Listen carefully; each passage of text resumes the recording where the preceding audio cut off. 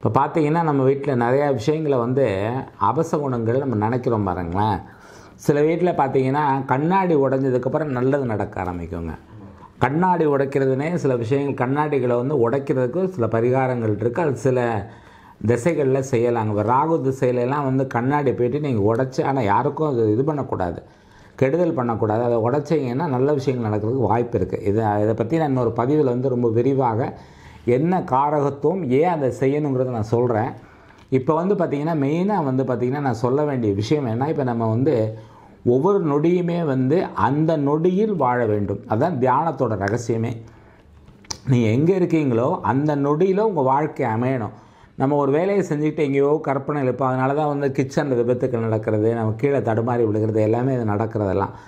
இப்போ சில வீட்டில் குங்குமம் கொட்டிடுச்சுன்னா உடனே அபசகுணம்னு நினைக்கிறாங்க. விபூதி கொட்டிட்டா அபசகுணம்னு நினைக்கிறாங்க. இதெல்லாம் அவசகுணம்லாம் கிடையாது. அப்போ நீங்கள் அந்த நொடி பொழுது வந்து கவனசிதறர்கள் இருக்கீங்கிறதுக்காக சொல்லப்பட்ட விஷயம். நீங்கள் குங்குமம் கொட்டக்கூடாதுன்னு சொன்னீங்கன்னா நீங்கள் ரொம்ப கவனமாக இருப்பீங்க. அது மேலே குங்குமத்தை எடுக்கும்போது. அப்போ ஒரு வைப்ரேஷன் உங்களுக்கு கிடைக்கும். அதில் கவனித்திருத்தல் அந்த இருப்பு நிலையிலே இருத்தல் அந்த ஒரு செகண்ட் வந்து இருப்பு நிலையில் இருக்குதுங்க.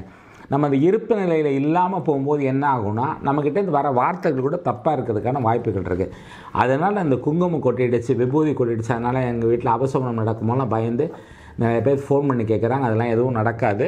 அது எதுக்காக சொல்லப்பட்ட விஷயம் கடுகு ஒட்டினா அள்ள முடியுமா? யோசிச்சு பாருங்கள் எவ்வளோ கஷ்டம் அள்ளுறது. வீட்டுக்குள்ளே போய் ஏதாவது ஒரு கண்ணாடி உடஞ்சி தான் எடுக்கிறது. எவ்வளோ சிரமம் அள்ளி எடுக்குது. ஒரு பீஸ் கிடந்தாலோ காலில் குத்திடும் ஆனால் இதெல்லாம் பயன்படுத்தும் போது கவனமாக இருங்கிறதுக்காக சொல்லப்பட்ட மறைமுகமான விஷயங்கள். நிறையா விஷயத்தில் நிறைய மறைமுகமான நல்ல விஷயங்கள் இருக்குது அதை போய் நீங்கள் அவசகுணமாகவும் கடவுளோட தொடர்பு படுத்தியும் பிரபஞ்சத்தோட தொடர்பு படுத்தியும் நீங்கள் கவலைப்பட வேண்டிய அவசியம் இல்லை.